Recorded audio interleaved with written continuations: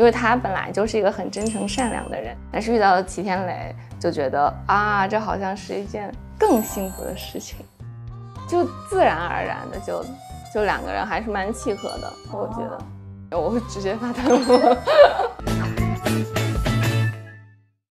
Hello，优酷酷的聚会的朋友们，大家好，我是小田，也是花轿喜事中的李玉湖。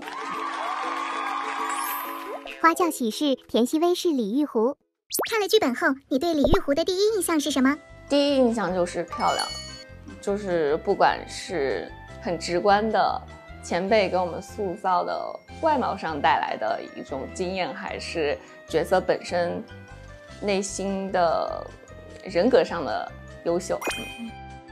李玉湖想象中的齐天磊大概是什么样的？就是血条还剩百分之二十。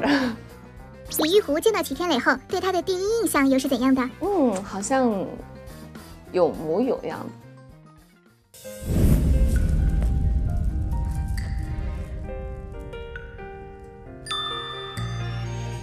你跟敖瑞鹏第一次见面是在什么时候？是我们定妆那天去拍定妆照。我当时应该是个艺人吧？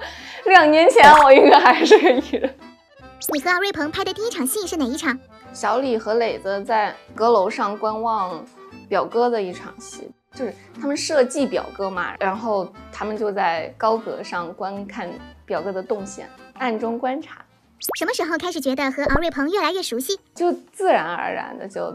就两个人还是蛮契合的，我觉得。你觉得齐天磊对李玉湖来说意味着什么？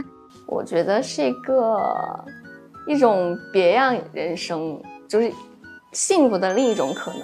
因为就是我觉得李玉湖这个人，他不管怎么样，他以后过的是什么样的生活，他肯定都会是很幸福的。因为他本来就是一个很真诚善良的人，但是遇到了齐天磊，就觉得啊，这好像是一件更幸福的事情。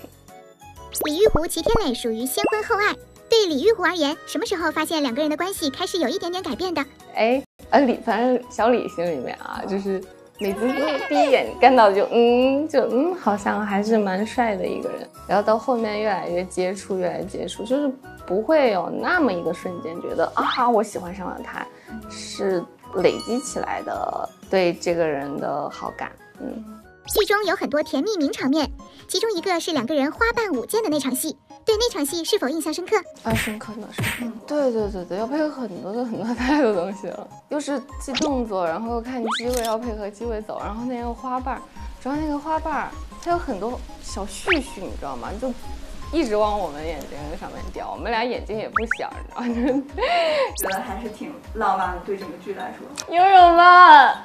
游泳吧，真的好看。当时拍的时候有没有互相不小心打架的时候？有有有啦有啦，肯定都有撞到那种，好像我们还有挥舞着鞭子，然后他用那个啥，那个扇子也有挡两下。嗯，而且我们当时我们两个算记动作比较快的，他好像之前也有一个武戏的经验嘛，嗯，但是还是会不小心戳到。对不起，敖老师。追剧时可以说一下这场戏的观后感。我会直接发弹幕，让我们的工作室的成员都开始发弹幕。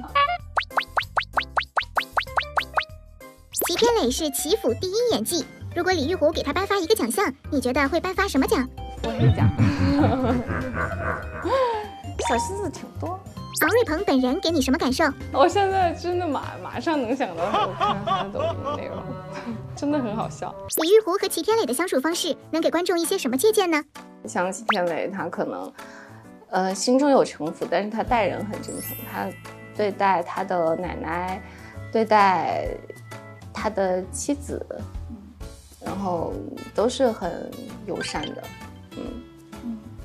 然后玉壶也是，玉壶虽然看起来他是一个就是傻傻的那种傻大妞，他他输出的都是一些很阳光、很正面、很积极的一个很热烈的一个人物性格。以你本人的身份送给他们俩一句话，你想送什么？坚持下去吧。